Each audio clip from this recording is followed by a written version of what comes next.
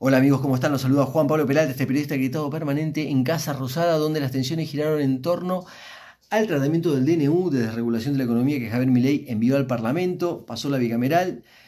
un mes y medio lo contuvo Victoria Villarruel, la vicepresidenta de la Nación, pero bueno, eh, ya se pasaba el terreno de la ilegalidad si esto continuaba así. Así todo recibió eh, duras críticas eh, escondidas en un comunicado que envió eh, la oficina de la Presidencia de la Nación, que fueron negadas totalmente por Manuel Adorni, dijo una mala lectura de parte de los periodistas. Lo extraño es que un diputado, José Luis Esper, incorporado ahora ya directamente, no es aliado, sino directamente parte de la libertad de avanza, también entendió mal, eh, porque dijo que había una suerte de desestabilización de la vicepresidenta, pero eh, la culpa es del periodismo que, hizo una mala lectura y los diputados de la fuerza oficialista leen a los periodistas, pero no lo que dice su gobierno. Todo muy extraño.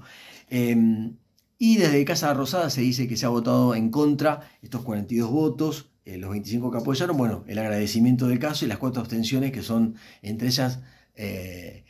partidos obviamente vinculados al peronismo, radicales como Martín Lustó, el presidente de la Unión Cívica Radical, que ha quedado como aliado del kirchnerismo, eh, muchos te critican eso también, pero bueno, eh, ahora queda vigente el decreto hasta que sea tratado en la Cámara Baja que preside Martín Menem. Ahí los números si van a cambiar, no se sabe. Va a tratar de dilatarlo el gobierno. Eh, nosotros consultamos si había un plan B, si esto pasaba, si finalmente quedaba fuera de vigencia totalmente el, el decreto, y nos dijo Manuel Adorni que sí, que había plan B y plan C eh, que eran previsibles, eh, pero lo cierto es que hay un borrador que está circulando con esta ley de bases comprimidas que Javier Milei retiró cuando vio que se la habían cercenado y los gobernadores ahora no sabemos cómo van a negociar de cara a ese famoso pacto del 25 de mayo que corre peligro porque algunos eh, gobernadores que dijeron que estaba todo bien con el gobierno enviaron a sus senadores a votar en contra. Así que bueno, difícil lo que se viene, queda todavía el día de mañana viernes, veremos qué repercusiones tiene todo. El cariño para todos.